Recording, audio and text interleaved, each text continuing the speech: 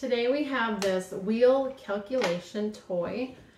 It came in a box like this, and it also came with these cards. There's 16 of them with all these different math facts on the front and the back, and each of them has a day up in the corner.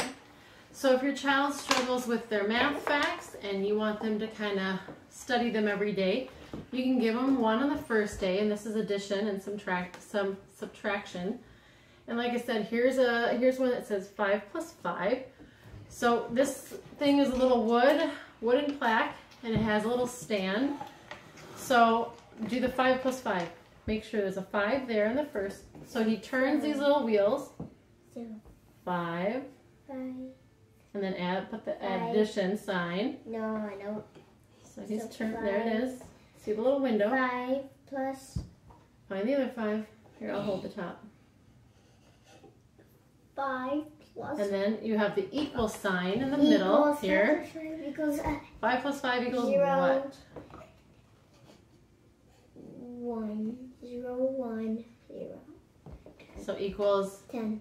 10. So there he, I can show you, figured it out here and it has the 5 plus 5 equals and then what it equals on the other side.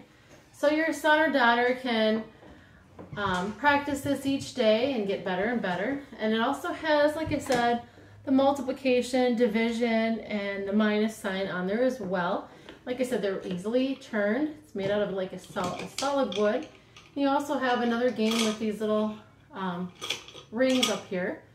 And then it came with a puzzle as well. So you take these pieces and you try to make a square. So it gives them some thinking and logical how to use the shapes to make a square. Done.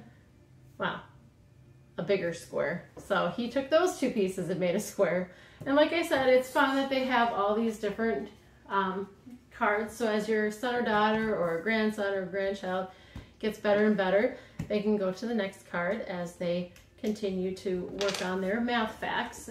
Maybe through the summer if there's some downtime and they want to practice a little each day. And this booklet also came with the instructions and then how to play with the different areas on the panda's face.